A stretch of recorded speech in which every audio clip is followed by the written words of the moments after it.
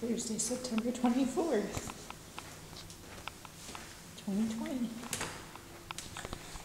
Second to the last day.